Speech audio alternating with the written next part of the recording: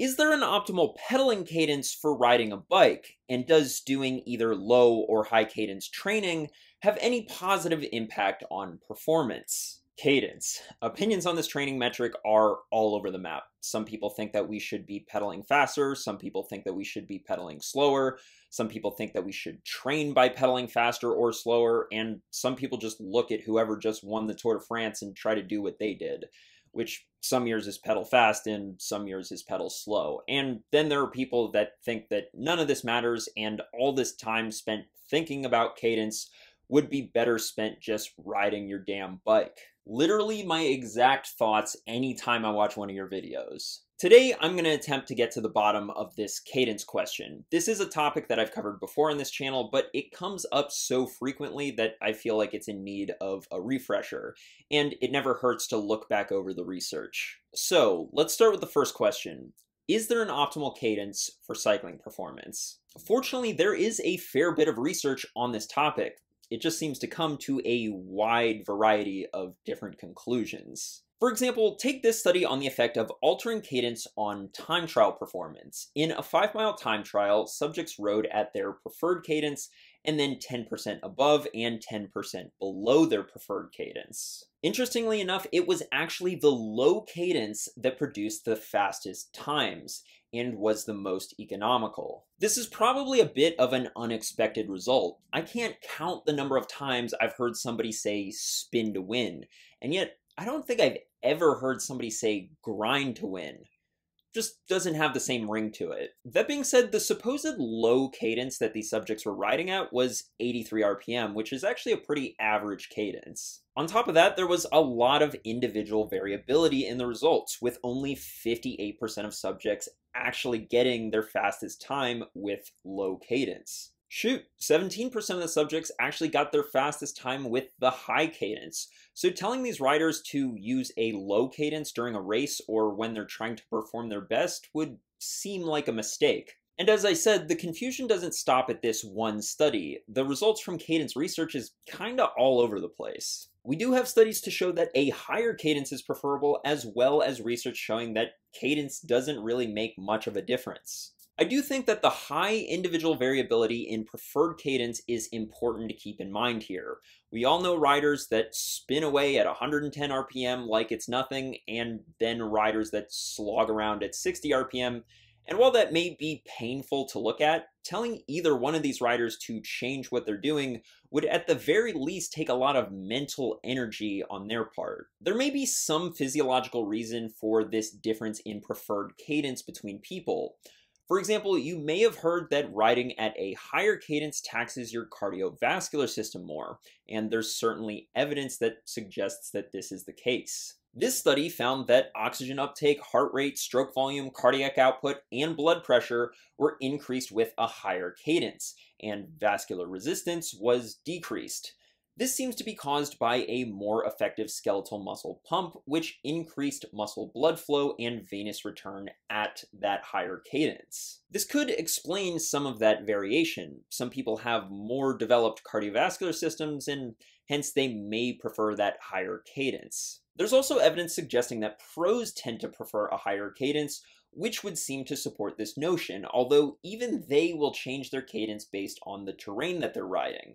For example, this study showed that pros choose a significantly lower cadence on the climbs than on the flats. This is another potential confounding variable. If you have a way of measuring cadence on your bike, I'm sure you've noticed that your cadence tends to be lower when you're climbing, and research confirms this to be the case. This is true of the terrain, and it's also true of how hard you're riding. There's evidence to indicate that the higher the power output, the higher a rider's cadence tends to be. This may be the reason why pros tend towards a higher cadence. They put out more power, and hence a higher cadence is required. This gets us into a chicken and egg type conundrum.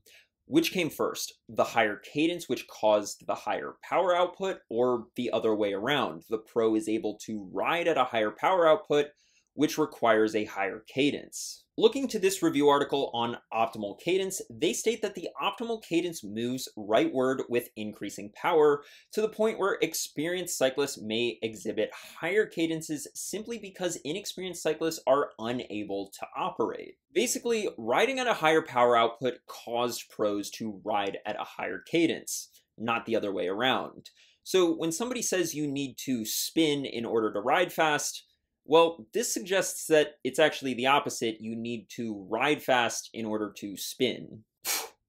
well, let's just hope that Durian Rider doesn't watch this video. I mean, will you look at these disc brakes? Absolutely atrocious. There's also some question around muscle fiber type and whether or not that has any effect on one's preferred cadence. This article explains that the reduction in force at a higher cadence favors slow twitch fibers, However, as contraction velocity increases, slow twitch units become inefficient as they move beyond their optimum contraction rate, while fast twitch units become increasingly efficient at high cadences. This essentially means that slow twitch fibers like the fact that less force is required at a higher cadence, but they don't like actually moving that fast, which kind of muddies the waters around this whole notion that if you're a slow twitch rider, then you prefer this, and if you're a fast twitch rider, you prefer that. There's also a lot of people that make the assumption that a higher cadence is more efficient, and that this is reason enough to strive to ride at a higher cadence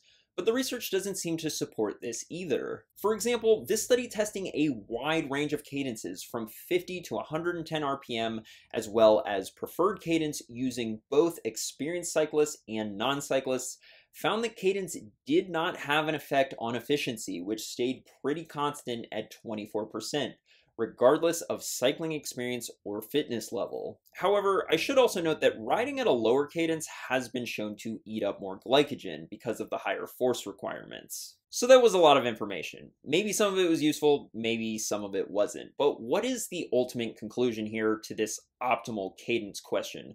Before we move on to the question of training at different cadences. Going back to this article, they conclude by saying that a single optimal cadence for all cyclists does not exist, or indeed a single optimal cadence for an individual cyclist. Rather, the cadence at which perceived exertion is minimized would seem to reflect the optimal trade-off between the most metabolically efficient cadence and the most mechanically efficient cadence. This cadence is not a constant and will change depending on, among other factors, workload, training adaptations, environment, and terrain. Certainly, we could always use more research, and who knows, future studies could prove this to be untrue, but in my mind, that paragraph perfectly encapsulates where the literature is at on this optimal cadence question. Essentially, the answer is don't overthink it. well, Looks like you're screwed, bro. The cadence that is the most comfortable for you is likely the cadence that will produce the best performance, if for no other reason than that you don't have to waste mental energy trying to pedal at a rate that doesn't feel natural to you. And it's been shown that cyclists tend to naturally choose the theoretical optimum or energetically optimized cadence anyway. This preferred cadence will change based on the terrain that you're riding, how hard you're riding, and how fatigued you are. But none of that should matter. You shouldn't be overly concerned with what cadence you're riding at, you should just ride at a cadence that feels good for you. Alright, now that we've covered optimal cadence, let's talk about training. Is doing low or high cadence drills or intervals in training helpful for improving performance? Cadence drills are a fairly common prescription from cycling coaches, and I'm going to be honest, I think a lot of that is just because of tradition. It's a my coach prescribed me cadence drills when I was racing, so now I'm going to prescribe them to my athletes type situation. Hmm. Well, I never had a coach, but if the fastest guy in the group ride tells me that he does something, then it might as well be chiseled in stone because it's gospel now. There are countless more examples of this in cycling that I won't get into here, but may be a topic for a future video. That being said, some traditions have a good reason for why they've stood the test of time, and some don't. Where do cadence drills lie on that spectrum? Well, it does appear that if we're comparing low cadence interval training to high cadence interval training, then low cadence is probably more effective. In this study, they had subjects do four weeks of training at either low or high cadences. And the low cadence group saw a greater increase in testosterone and power output on the bike as well, leading to the conclusion that low cadence training is probably more effective than high cadence training. This is not the only study coming to this conclusion, and the reason is likely due to changes in testosterone and neuromuscular adaptations. Looking at the research, you really struggle to find evidence that high cadence training is effective, and whenever low cadence training and high cadence training are compared, low cadence comes out on top. Now, this is all well and good, but I don't really care whether low cadence is better than high cadence. I care whether low cadence is better than doing no cadence training at all. Fortunately, we have studies that investigate that as well. This study tackling this very question had well-trained cyclists do low cadence training or training at their freely chosen cadence for 12 weeks. Shockingly, it was the freely chosen cadence group that saw improvements in performance while the low cadence group did not. This systematic review on the topic states that there is no clear evidence for training at a low cadence, and that some studies even show a superior effect to training with one's freely chosen cadence. This may be a surprising conclusion to come to. As I've said, low cadence training is fairly common and some very high profile riders are reported to use it. If we go back to the purported benefits of low cadence training, like increased testosterone and neuromuscular adaptations, they sound a lot like the benefits of weight training. And we don't have a lot of research comparing weight training to low cadence training, but we do have some data that we can draw some tentative conclusions from. In this study, for example, cyclists were split into a weight training group and a isokinetic bicycle training group that trained by performing max sprints at low cadence on top of their normal training. What they found was that while both groups improved their max power at low cadences,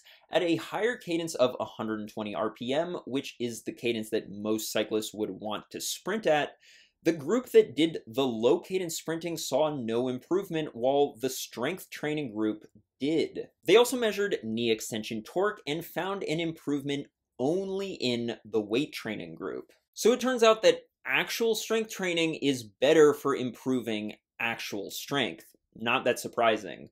But perhaps what is surprising is the fact that strength training is also better for improving high cadence sprinting. Subjects in the weight training group also increased their power output in a 30 minute endurance test by 22 watts, while the low cadence group increased it by just 14 watts. This was not enough to reach statistical significance, but what it does suggest is that low cadence interval training is not better for cyclists than weight training, by any means. The authors even go as far as to state that using high power isokinetic cycling training at a lower cadence can impair stroke efficiency and thereby reduce the increase in maximal power output during pedaling at a higher cadence. Now, I don't think we have enough evidence to say that low cadence training is harmful to performance, but the evidence that it's helpful or even the same as weight training just isn't there either. The forces are just so much higher when doing a set of heavy squats or deadlifts, and it's really hard to emulate that on the bike. And let's not forget, weight training has a ton of research to back up its effectiveness. Low cadence training? Eh, not so much. I do think that some of these studies that are showing some sort of benefit to low cadence training are picking up on the fact that doing low cadence work is probably better than doing absolutely no strength work whatsoever. However, when I look at the research on weight training and the research on low cadence, the answer seems pretty clear. Don't half-ass your strength work by attempting to do it on the bike. You should be going to the gym for that. Yeah, but what if I actually carry a spare tube with me? Does that count? I mean, come on, that's a lot of extra weight. That being said, I would like to see more research on low cadence training specifically. Just because it's not the best way to improve strength doesn't mean it doesn't have any benefits at all. Until that research comes out though, I don't see a strong reason for including it in your training. Thanks for watching. If you want to step up your training, then I have links to online training plans and coaching down in the description below. If you enjoyed this video, be sure to give it a like, subscribe, and share this video with your cycling friends. I'll see you in the next one.